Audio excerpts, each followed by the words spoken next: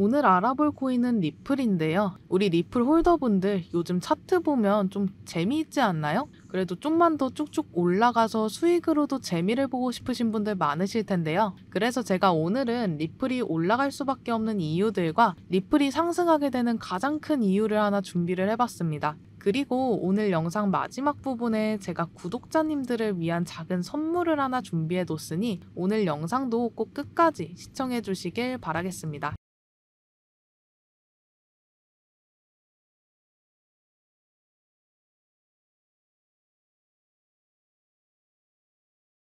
제가 계속 누누이 말씀드리고 있는 내용들이지만 다시 한번 짚고 넘어갈게요. 현재 리플은 SEC와의 소송이 아직 완벽하게 끝나진 않았습니다. 하지만 대부분의 전문가들은 리플의 승리를 확신하고 있고 시장 분위기도 이쪽으로 많이 쏠려 있죠. 리플의 소송 결과와 합의 내용은 당연히 이번 연도 안에 나오게 될 텐데 그와 더불어 엄청난 시너지 효과를 내줄 호재가 하나 있습니다. 바로 리플이 미국 국채를 토큰화해 XRP 레저에 도입하기로 한 건데요. 미국 국채를 토큰화한다. 이거는 리플의 유용성과 새로운 기회를 창출해내는 아주 흥미로운 예시가 될 수 있을 거라고 생각이 듭니다. 그래서 많은 전문가들이 현재 리플의 차트 흐름에 주목하고 있고 단기간 내에 엄청난 상승을 보여줄 것으로 예상하고 있는데요. 이렇게 된다면 홀더분들이 원하시는 이상적인 그림이 이번 연도 안으로 나올 수 있을 거라고 조심스럽게 예상해 봅니다. 그리고 먼저 올해 11월엔 미국 대선이라는 가장 큰 이벤트가 우리를 기다리고 있습니다. 현재 미국 대통령으로 가장 유력한 후보인 트럼프 전 대통령은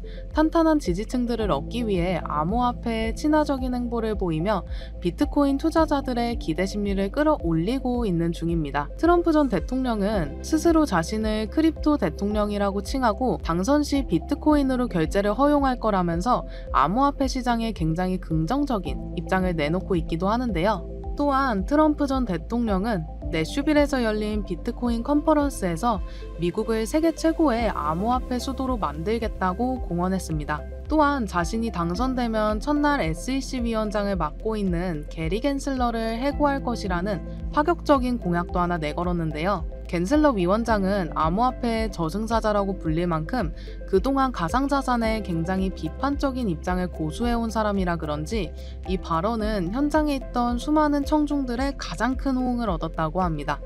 이런 미국 대선과 관련해서 시장 동향을 내다봤을 때 시장은 지금보다 훨씬 더 커질 수밖에 없는 구조가 만들어지고 있고 향후 암호화폐 시장은 10년 내 최대 200배까지 성장할 것이라는 낙관적인 전망도 쏟아지고 있는 상황입니다. 2024년 올해 자금이 가장 많이 몰린 테마가 어떤 것인지 알고 계시나요? 맞아요. 바로 미국 대선 테마입니다. 코인뿐만 아니라 모든 자산 시장을 대선 테마가 주도하고 지배하고 있는데요. 현재 미국 대선의 구도는 바이든 대통령의 사태로 트럼프와 해리스의 대결 구도가 펼쳐지게 되었습니다. 앞서 말씀드린 트럼프 대통령의 친암호화폐 정책을 의식한 해리스도 코인베이스나 서클, 리플 등 암호화폐 기업들과 접촉하는 모습을 보여주고 있는데요. 이렇게 현재 두 대선 후보들은 암호화폐 시장을 굉장히 의식하는 모습들을 보여주고 있고 후보들의 말 한마디 한마디들이 시장에 엄청난 영향력을 끼치는 모습도 볼 수 있죠. 그래서인지 대선 관련 코인들은 항상 폭발적인 상승률을 보여주고 있는데요.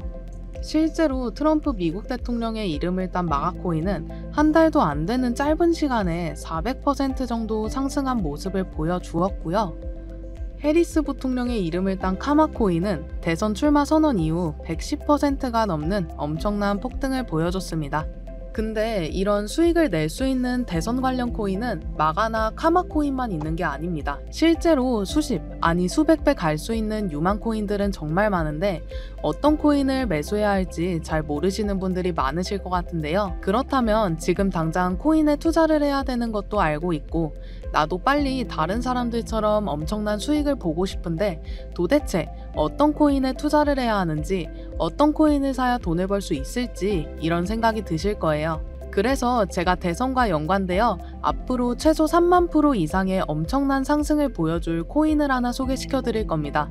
우선 이 코인을 소개하기 전에 저와 여러분들이 코인에 투자를 하는 이유가 무엇인지부터 생각을 해보셔야 하는데요. 시간이 남아 돌아서 돈이 넘쳐 흘러서 물론 이런 분들도 간혹 가다 있으실 거라고 생각이 듭니다. 하지만 저는 짧은 시간 내에 큰 돈을 벌어 내가 사랑하는 부모님께 집 한 채 사드리고 얼굴만 봐도 예뻐 죽겠는 우리 아들 딸들에게 좋은 거 해주고 남들보다 부족함 없이 키우고 싶어서 지금의 우리보다 더 나은 삶을 살게 하기 위해 서 코인 투자를 선택하신 거 아니신가요?